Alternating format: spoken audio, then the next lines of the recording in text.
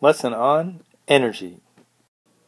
We use energy in our lives every day, but what are the different types of energy?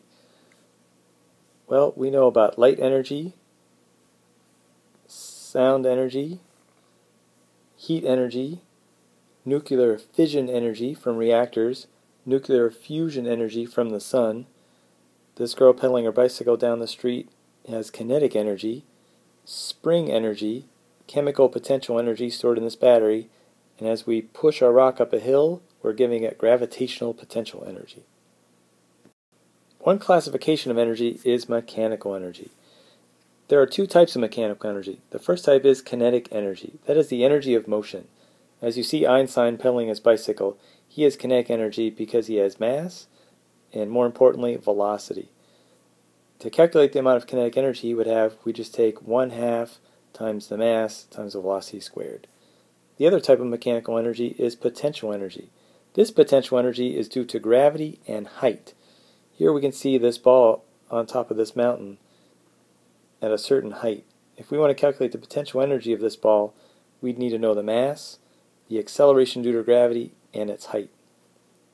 Well, what are the units of energy when we calculate its KE and PE? Here you can see James Prescott Joule in which the units of energy were named after. So our units of energy are joules, or J for short. Conservation of energy. What does conservation mean? Well, it's really a fancy physics word for the same or equal. That is, the total energy is the sum of all types of energy. So our total mechanical energy would be the sum of the potential energy the object has plus the kinetic energy the object has. And since energy is conserved, the total amount of energy is constant. That is, the total amount of potential and kinetic energy I have to start with is the same as the final amount of kinetic energy and potential energy I end up with. Let's conceptually describe the energy transformation below. Here we see this person with this ball on top of this hill. What type of energy does it have right here? Since it has height, it has potential energy. Now what's going to happen when we release the ball and let the ball roll down the hill over here. What's going to happen to the potential energy the ball has as it rolls down the hill? Now the potential energy the ball had here at the top is going to be transformed into kinetic energy of motion as it rolls down the hill. And the amount of kinetic energy it will have at the bottom of the hill will be the same as the amount of potential energy it had at the top of the hill, since the total amount of energy is constant or conserved. Let's do some sample calculations. What is the kinetic energy of a 1200 kilogram car traveling at 20 meters per second?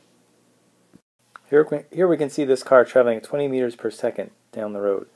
Its kinetic energy is given by 1 half its mass times the velocity squared. So let's substitute in 1200 kilograms for the mass and 20 meters per second for the velocity.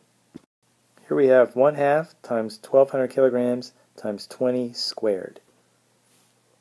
If you do out the calculation, this will give you 240,000 joules of kinetic energy. Now, what is the potential energy of a 0.6 kilogram basketball at a height of 4 meters? Here we have the basketball at a height of 4 meters above the court.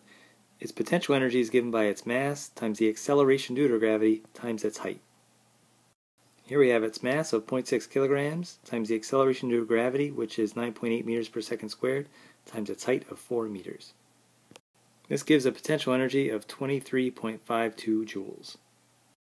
Now you're ready for the in-class activity of bouncing basketballs. In class, you'll drop a ball from a height of 1 meter, which you can measure with the meter stick. You'll then apply the law of conservation of energy and determine what types of energy the ball has here when you're holding it what types of energy it has as it's falling, and what type of energy it has as it makes impact with the floor.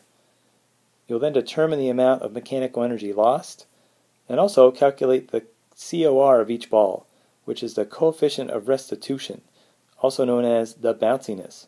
The bouncier a ball, the higher the coefficient. The less bouncy a ball, the lower the coefficient. You can calculate this coefficient of restitution by taking the square root of the bounce height it, ba it bounces back up to divided by the height you dropped it from. This is useful in the NBA where there's a rule for a ball to be game worthy. The ball must bounce back up to a certain height. so that the players have a rhythm to their bouncing down the court. Thank you for watching and see you in class.